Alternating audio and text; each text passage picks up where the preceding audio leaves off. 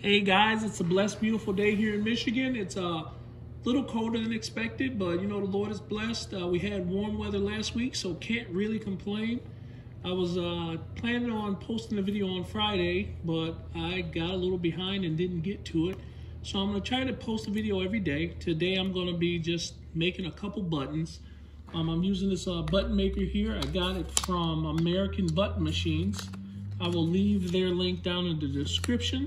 Um, this is the two and a quarter inch size button maker. Uh, this is a standard size button. They, they work really, really well. You can see that when the button is complete, um, it's a nice glossy finish. And they also have these little foil things you can put around the outside edge if you'd like to. I think it really gives the button a nice finished look. Um, I'm making these buttons for um, any clients that want to bring their children by to get a free button with the way things are, everyone may not be able to afford to buy a St. Patrick's Day shirt, or all the green shirts might be sold out. If you're in the printing um, business, then you know that sometimes finding supplies can be a little bit difficult right now. So I'm just gonna, let me see, and make a couple of these. I have the pieces already in here. Take your piece of paper, printed piece of paper, and you stick it right in the machine Get you a clear piece of uh, mylar, stick it on top, and you just rotate it around. Try to push this slow so I don't shake the camera too much.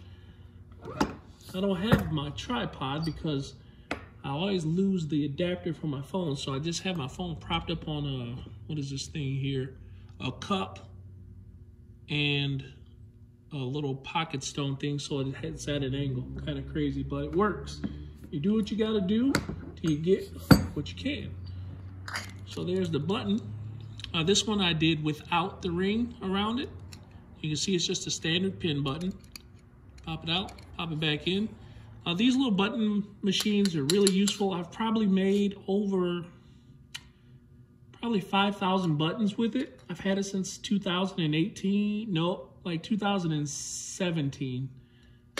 Um, a customer came in and he said, hey, he wanted to get some buttons. He wanted to get 50 buttons, and I thought, hey, I'll get a button maker. They're probably only $50. Boy, was I wrong.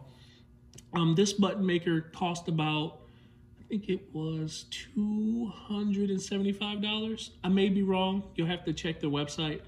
But I bought the button maker. I didn't make any money on his button order, but I started to offer buttons on Etsy I don't have an Etsy store any longer, but I used to, and I offered the buttons on Etsy, and the Lord blessed that I sold thousands of buttons.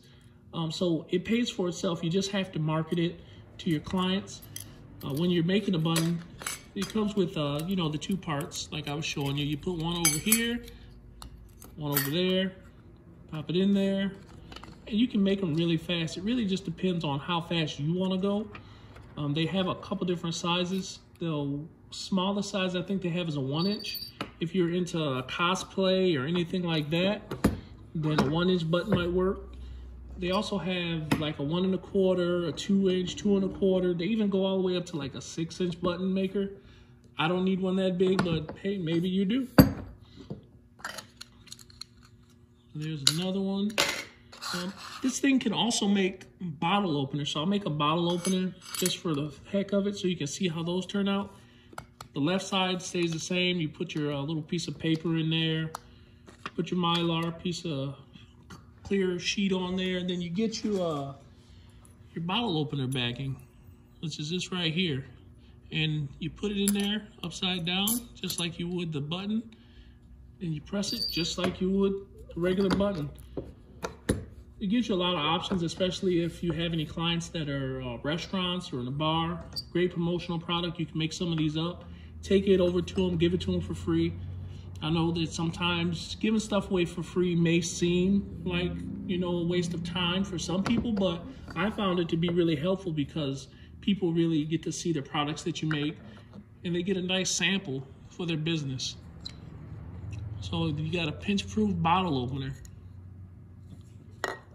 Another thing that you can make with this button maker is, let me see what else I have think I have a mirror that you can make as well.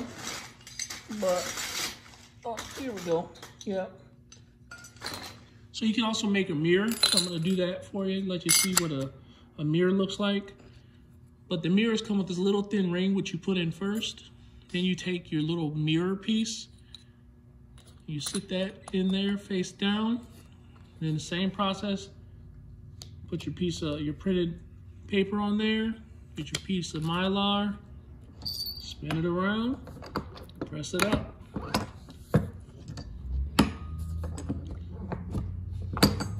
These are great little pocket mirrors, uh, little party gifts. These would be great for party gifts for like maybe a, a little one's birthday party. You could give these away. You see here. You can see my little stand that I made for uh, holding my phone. Isn't that something? That's actually, this thing that is reflecting on is actually the thing I used to cut the uh, shapes out for my button maker, for my buttons. So yeah, with these you can make a lot of different stuff. Uh, thank you guys for watching. Try to post another print video tomorrow. I hope you guys have a blessed and wonderful evening. And uh, be sure to give this video a thumbs up. Tell me what you like. Tell me what you didn't like. Tell me what you'd like to see. And be sure to subscribe. Thank you guys for watching. God bless.